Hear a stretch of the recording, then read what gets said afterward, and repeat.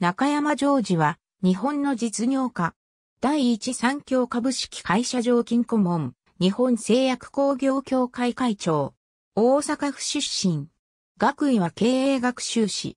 大阪教育大学附属高等学校天王寺。校舎を経て、大阪大学基礎工学部を卒業。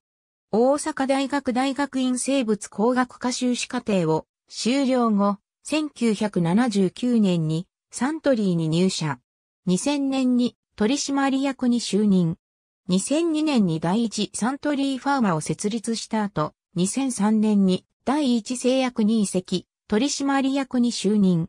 2007年に経営統合により、第一三共に入社、執行役員に就任。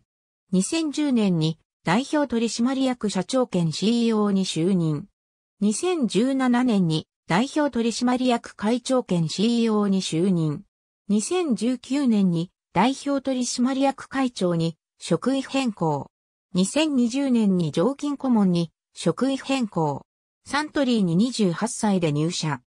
30代で営業から財務、そして1988年8月に経営戦略を立てる企画部の課長となり、脱、ウイスキー依存を図り将来ビジョン、夢2001を策定した。